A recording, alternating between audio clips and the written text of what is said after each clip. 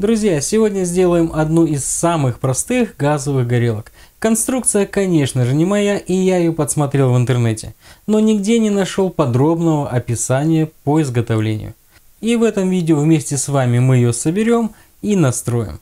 Подобную горелку я уже делал на своем канале, и если интересно, ссылочку найдете в всплывающей подсказке. Ее принцип работы очень схож с сегодняшней самоделкой, за исключением самого корпуса. Для сегодняшней самоделки пришлось съездить в магазин сантехнических деталей и прикупить вот такой комплект. Это пара муфт и труба. Она была немного больше, с этой стороны была резьба 50 мм и мне пришлось ее укоротить.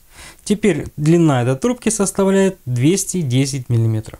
По своей сути это уже полностью готовый корпус и все что нам нужно сделать это собрать его до кучи. Вот так выглядит наша деталь. Далее нам понадобится сделать газовую форсунку.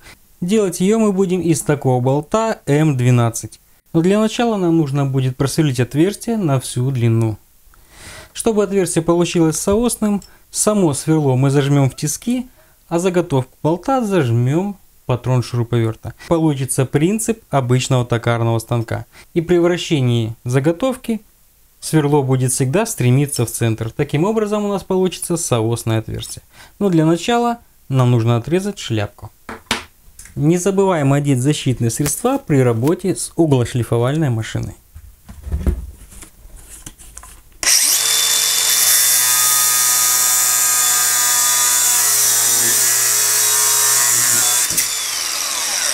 Далее, как я и говорил, зажимаем сверло в тиски а саму заготовочку в патрон шуруповерта.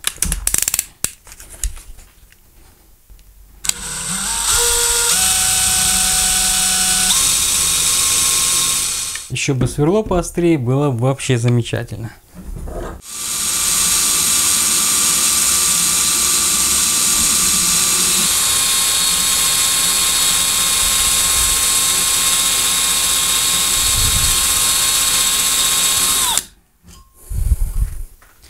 Ну и вот таким макаром нужно просверлить до конца.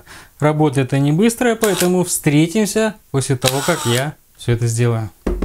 Такое сверление получилось в итоге. На входе отверстие не совсем соосно из-за кривизны заготовки. Зато на выходе я считаю идеально. Теперь при помощи сверла сделаем углубление под жиклер. Это наконечник от сварочного полуавтомата 0,8 мм. И нарежем резьбу М6. Потай будем делать так же, как и делали сквозное отверстие, а в качестве маркера используем синюю изоленту. С ней наша конструкция точно заработает. Немного смазочки еще никому не мешало. А, вспомнил интересный ролик Игоря Негоду на тему смазки. Если интересно, ссылочку на него положу в описании. И передавайте ему от меня привет.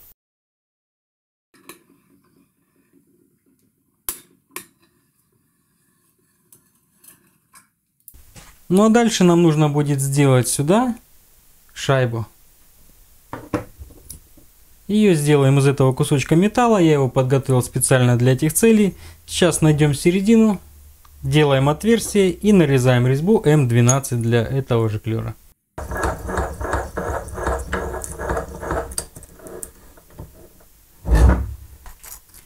Размечаем условную середину. Почему условную? Потому что наш кусочек металла не имеет прямых углов. Сверлим отверстие 10,2 мм для резьбы М12.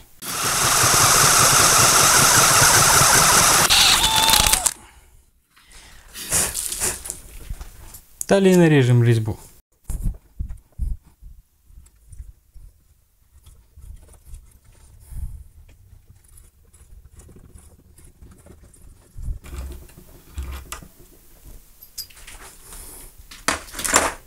Итак, заготовочка под шайбу сделана. Сейчас фиксируем на этом же жиклерчике, зажимаем шуруповерт и при помощи болгарки придадим ей круглую форму. Но сначала, думаю, будет не лишним им сделать разметку окружности и срезать острые углы, чтобы в последующем меньше обтачивать. Ну что ж, теперь можно и обработать. Для этого использую фибровые диски фирмы 3M. Я уже показывал их в предыдущих роликах и как они работают мне очень нравится. Устанавливаю самое большое зерно и вперед. Фиксируем шуруповерт и погнали.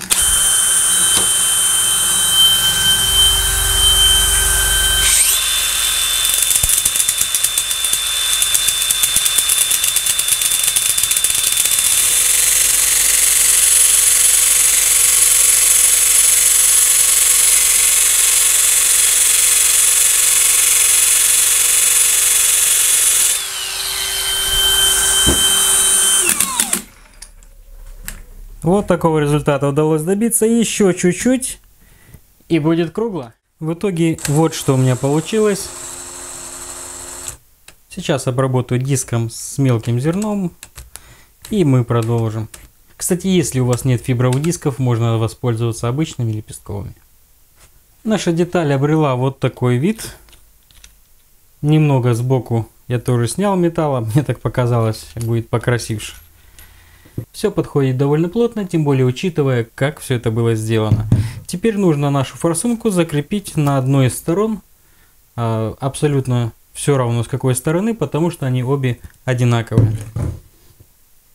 Крепить, скорее всего, буду через гайку вот на три болтика. Просто засверлим отверстие, нарежем резьбу и три болта будут удерживать эту гайку.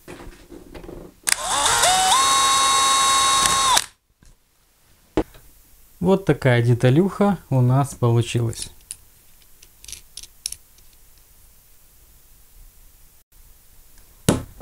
Теперь разделим на три части эту муфту. И также сделаем три отверстия, нарежем резьбу М6.